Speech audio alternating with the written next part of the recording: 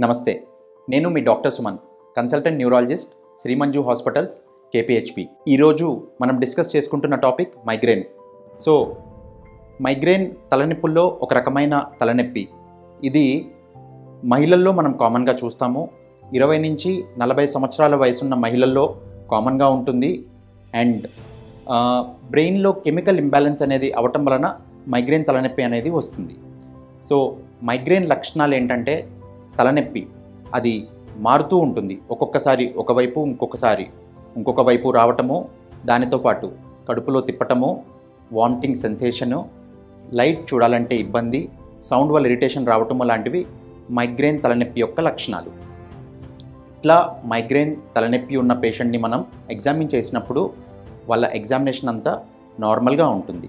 ఇట్లా మైగ్రేన్ తలనొప్పి ఉన్న వాళ్ళకి అవసరం బట్టి సీటీ కానీ ఎంఆర్ఐ కానీ చేసుకుని ఆ తర్వాత వాళ్ళ తలనొప్పి నెలలో ఎన్ని రోజులు వస్తుందన్న దాన్ని బట్టి మనం ట్రీట్మెంట్ ఇవ్వడానికి ఆస్కారం ఉంటుంది.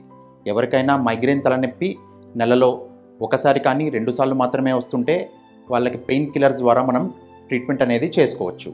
ఎవరికన్నా మైగ్రేన్ తలనొప్పి నెలలో ముప్పై రోజులలో ఎనిమిది రోజుల కంటే ఎక్కువ వస్తున్నా లేదా నాలుగు సార్లు కంటే ఎక్కువ వస్తుంటే కనుక అట్లాంటి వాళ్ళకి మెయింటెనెన్స్ థెరపీ అనేది అవసరం ఉంటుంది. ఆ మెయింటెనెన్స్ థెరపీతో ఈ మైగ్రేన్ తలనొప్పి తగ్గించుకోవడానికి ఆస్కారం అనేది ఉంటుంది. నమస్తే.